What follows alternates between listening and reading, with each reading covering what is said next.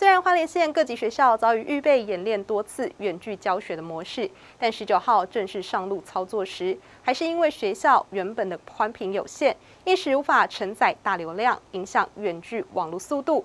瑞穗国中的老师是立刻用手机热点做分流后，才顺畅了许多。其中有五位学生还是因为家中网络讯号不佳，选择到学校上课。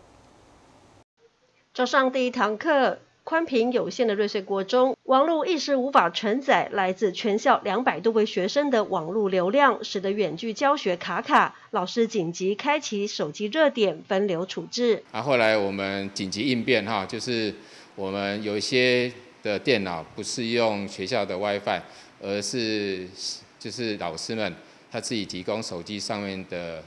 的讯号的分享哈，来疏解。瑞穗国中透过了几位老师手机热点的分流，舒缓宽频承载量，让接下来远距教学的每一堂课都一路顺畅。老师说，学生的线上出席率平均有将近九成左右，但也受限于远距教学相关课程如体育课内容上也做调整应应。原本是我们学校这周要进行游泳比赛，那我。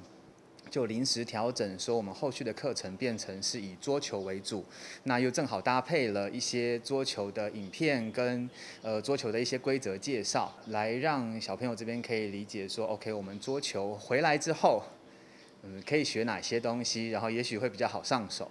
透过了电脑网络进行远距教学，少了课堂上与学生们互动与反馈，看着手机和老师、同学们共学的方式，学生也有些不习惯。有点不习惯。怎么说？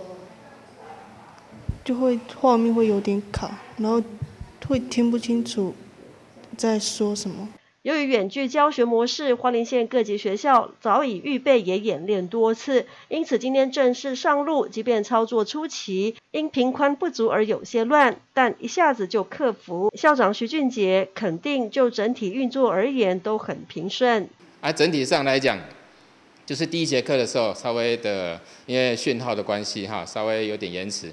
之后的二三四节哈，目前运作起来都还算正常，啊，学生也陆陆续续就能够在呃适应这种教学的一个方式。瑞穗国中远距教学首日，硬体设备运作一切平顺上路，而至于学生端可能因为社区网络讯号差或者没有网络设备等等的问题，而影响在家远距学习的学生，到校上课时。校方也恪守分区不群聚的防疫规定，让学生真正停课不停学。记者石玉兰瑞士采访报道。